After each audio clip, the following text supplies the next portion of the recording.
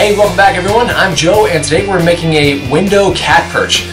My wife has asked me to do this because we have a huge Great Dane and her head is about 38 inches off the ground and our cat no longer has anywhere to hang out. So we're going to make a cat perch so she can get away from Lady, our huge Great Dane. It's not a very difficult plan, shouldn't really take you very long at all to complete, but I think your cat will really like it, especially if you have a big dog like us. So let's get started. After you determine how big you want your cat perch to be, cut that out of a piece of plywood. You can see this piece was roughly 12 inches by right over 15 inches. You're going to need either 1 by 2 or 1 by 4 pieces for your edge. Put those on there and mark them so you know where to cut them off.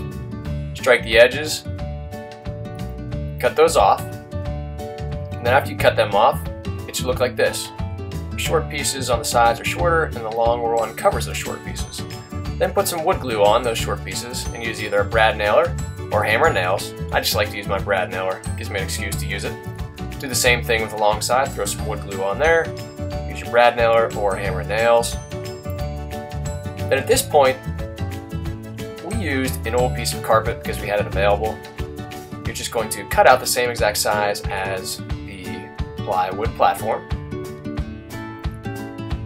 nice square size. You can see I'm using a sawing motion, makes it a lot easier.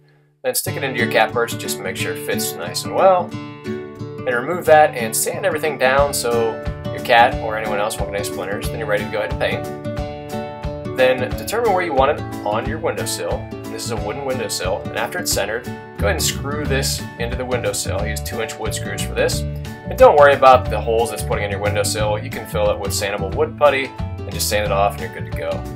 Then put your carpet back in there. Make sure it fits nice and snug. Looks good. And here's the reason we're building this, so our cat, Bean, can get away from our huge Great Dane lady. And as you can see, Bean seems to like her cat perch. She can sit, look out the window, hang out, nice and comfortable on her carpet. Let me know if you have any questions. Hope you like the video. Remember, you can always subscribe and hit the like button if you like the video. So until next time, good luck, take care.